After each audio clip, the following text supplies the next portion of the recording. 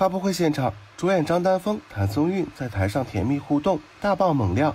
张丹峰爆料谭松韵是十足的吃货，最爱吃辣条。你吃辣条挺多的，你们这样这个辣条吧？那你吃披萨也挺多的。两个人在怎么回事呢？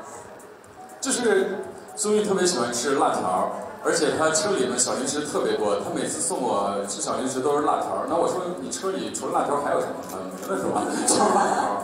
完了我还不不吃辣，你知道吗？一车的辣条伴随了你整部特化师的拍摄。是吗？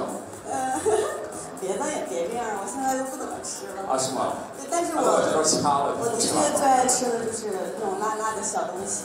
啊。所以我爱爱给别太爱给别人分享。峰哥吃根辣条，他不吃。那峰哥为什么你指峰哥呢？呃，因为每次好你的美人尖这个地方呢，我们再把它加强一下，把它再顺的更美丽，与我们的鬓角这一块来进行衔接，那么你就会有个漂亮的美人尖和漂亮的嗯发际线。